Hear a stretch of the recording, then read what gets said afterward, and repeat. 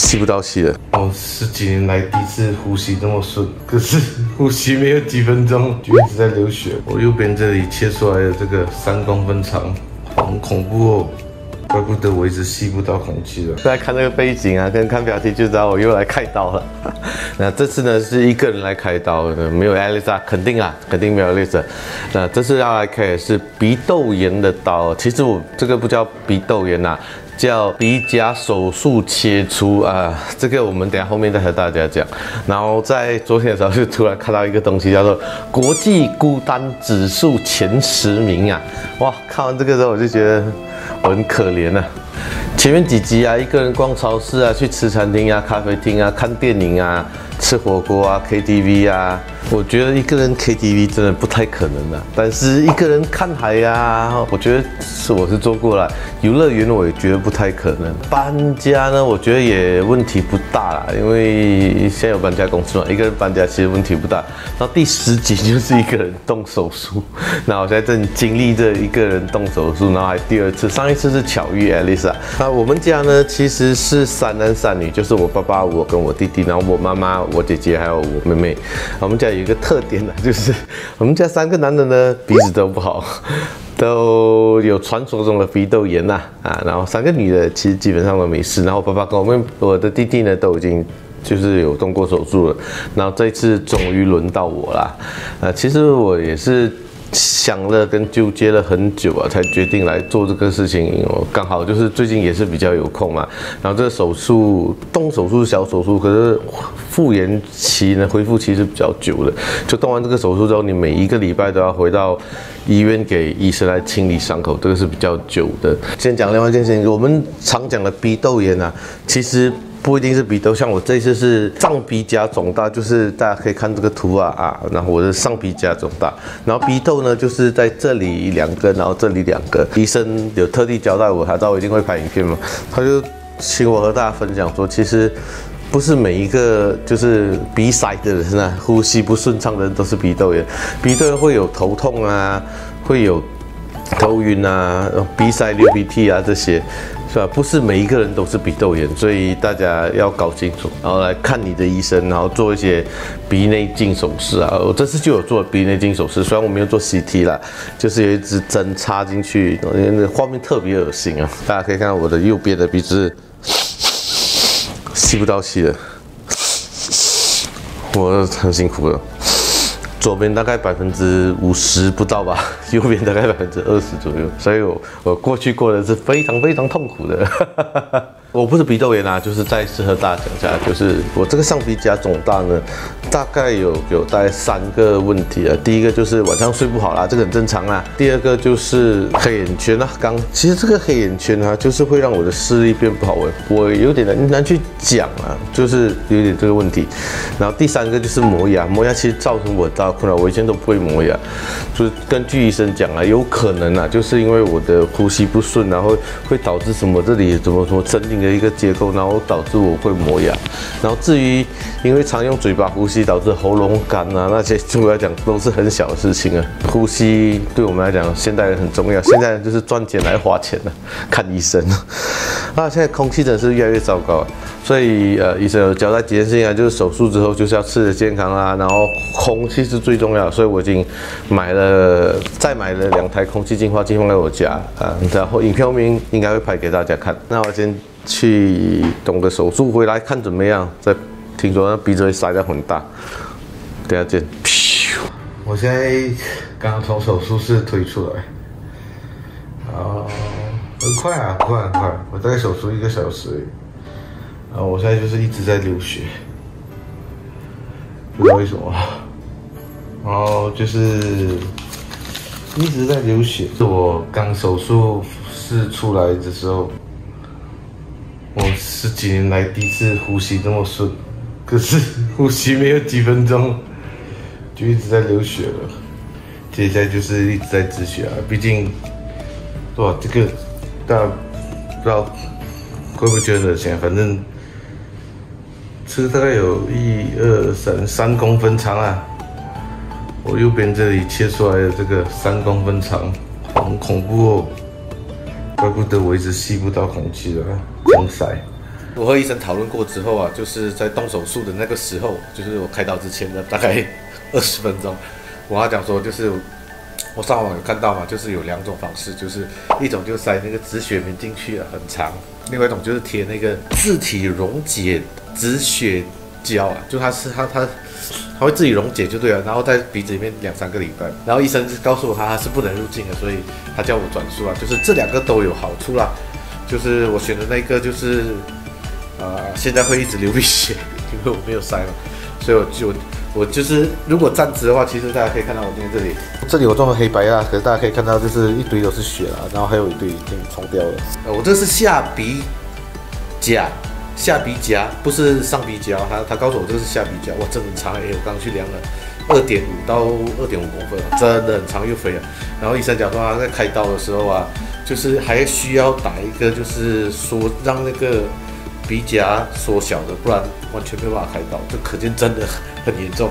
他说，呃，鼻夹阻塞呢，基本上有两种处理方式，一种是镭射，一种就切除。切除就是我这种哦，和镭射那种大概只可以耐三个月，就是给那种不太严重或者怕开刀的人，就看你要不要选择咯，因为它复发很快，三到六个月可能就会复发了。呃，好，明天早上呢，我要到主治医生，就是 Doctor 大 T N G 啊。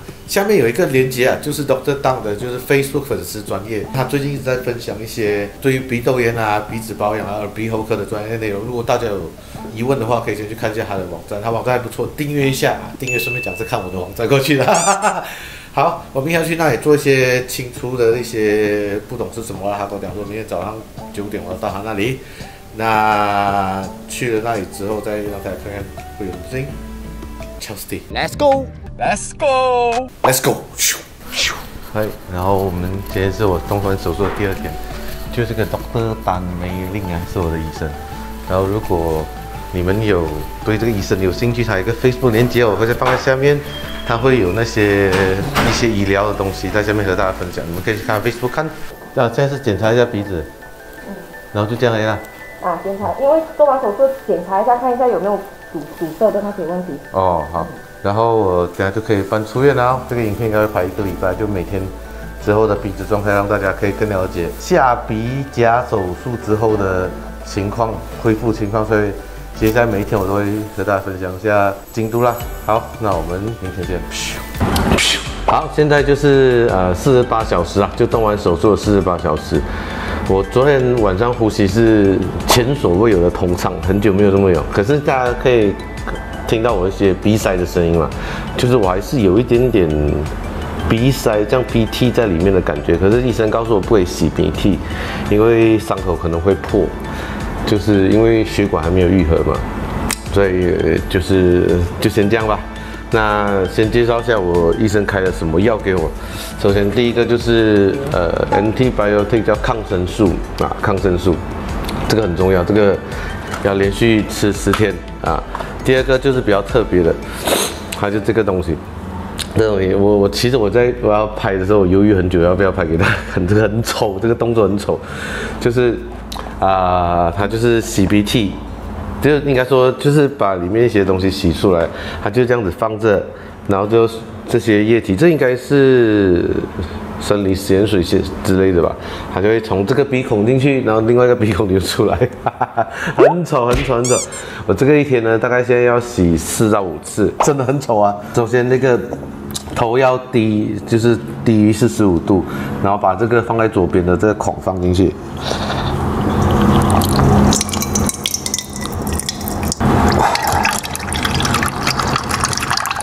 这里很恶心啊，大家就不要看了。就会看到一点血丝啊，一些 鼻涕的部分，然后洗完之后就是会好很多。所以我们看一下明天会有什么不一样。呃，就明天大家介绍一下我家现在到底放了几台空气净化器，很夸张，我家现在有四台。OK，第三天见。好，来，今天就是我动完手术的第三天啦，就有朋友问到说，我这次手术大概是花了多少钱？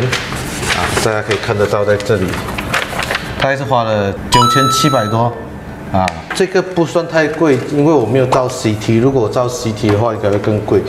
呃，其实也不便宜啊，九千多。那反正保险赔嘛，对不对？那和大家讲一下，我就是我家现在的情况是怎么样？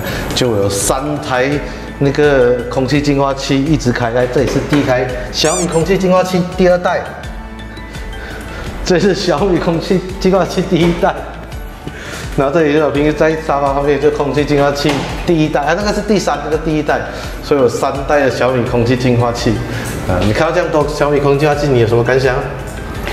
你的家也没有特别的 fresh 吗？因为你都没有开，是不是？有啊，它这个现在只有二呀，它空气污染只有二啊，还没有声音的、啊，有声音啊。它现在就是代表它很斯文。小米的都很斯，文。你可以，如果你现在把它变成三号，它就很大声了啊。哦，OK，它这个 A auto auto 的话就是那个不是 Alice，它 auto 的话就是侦测你的现在的污染的情况，它就会来做调整。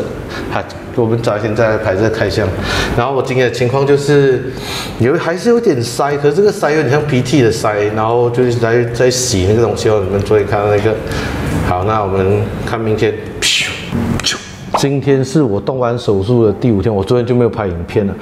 我觉得这几天我的情况可能是因为我吃抗生素的情因关系啦，所以我一直很很想睡觉，就睡眠时间也蛮多的，就很容易疲倦。我我应该是活了这么久啊，就是三十八年来第一次吃抗生素，所以很疲倦啊。很好睡，就是躺在沙发上也会睡着这样子，而且现在封城嘛，我也没有出去，就是看看那个看戏，看看看就睡着了。然后我也觉得没有什么大问题，呼吸也是慢慢顺畅的，然后蛮 OK 的，我觉得是蛮 OK 的，就也没有什么塞。可是鼻涕有点多，可那鼻涕是结块在里面的那一种的，我有点难形容哎，你们应该懂啊，就是就是鼻要洗鼻涕才可以把那个东西洗出来，一块一块青色、绿色那一种鼻涕，有点像尖锐的那一种，对啊，那。我认为应该这几天我就不拍了，直接再多等两天后，我到医院看医生的时候，复诊的时候再拍最后一个总结。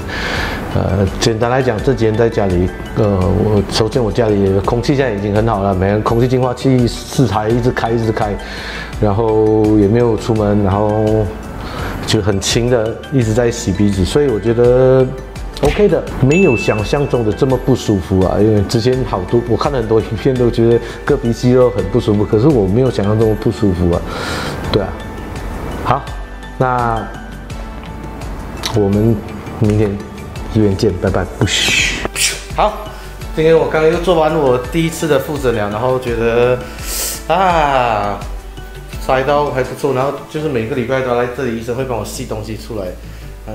是我，所以我每天都要洗那个，你们之前的影片有看到啊。然后主要是为了让它鼻子里面的东西会比较软化一点，是这个意思吗，医生？嗯，然后我我 ending 啊，我就带了我之前喷的东西过来。我以前鼻子塞的时候，我都会都买，我都是买日本的这种。然后 ending 我们就来问一下医生，这个到底是怎样子？这种有什么用？日本文我就看不懂哦。不是，是我看不懂 你。要你要让我知道它是什么成分，我才只能够跟你讲是用什么的。对，要很小心。哦啊，因为有些药的话，它是只能够用短期，有些是可以用长期。但是你如果都没有照过鼻子，就随便乱用药，就会变成滥用那个药了。哦，也有可能会变更严重，嗯嗯，不会讲严重，但是是讲没有效果。拖住，嗯，拖住你的哦问题，然后或者是可能会延伸其他问题，因为有些只可以短暂用的，你如果常常用的话，它可能会弄到流血的问题，哦或者是更薄的问题，哦就不能对症下药啦。哦，所以还是要问一下你的对耳鼻喉老师，耳鼻喉老师，老师不是医生 啊没问。题好，最后一个我医生，我这个这个情况是算严重了嘛？我的那你现在已经不是我之前一个礼拜已经算是，之前是严重啊，现在做了手术之后很好了。之前的话是，尤其是右边很塞，很塞，那是医生讲说他要喷了那个东西变小之后才可以切掉，嗯嗯，动手对。术的时候所以那时候切给你的肉，那个肉也是很大个，右嗯右边尤其大个。三二点五 cm 到三十 cm 嘛。哦，你还要拿来量啊？大概啦，大概。好，最后就是我问一下医生，就是现在人的鼻子问题很严重，是吗？看看个人，有些是会严重，有些是讲说拖了很久没有移的话，有时候也是会严重，嗯就是小病拖成大病啦。但是都是要特别小心啦。对，然后我们要平时要这样子哎，嗯嗯。呃，如果是鼻子敏感的话，最最最重要先要注意你有什么东西造成敏感，啊抽烟呐、家里有没有猫猫狗狗的毛发啊，啊还有马来西亚最成最普遍还是我们的邻国会烧烧烧 会火灾，我们只能够做我们能够控制到的东西啦，嗯啊啊，所以就是家里要常常吸尘，床单、床套、枕头套要 regularly 一两个星期要有洗啦，又或者 air purifier 啊这些东西。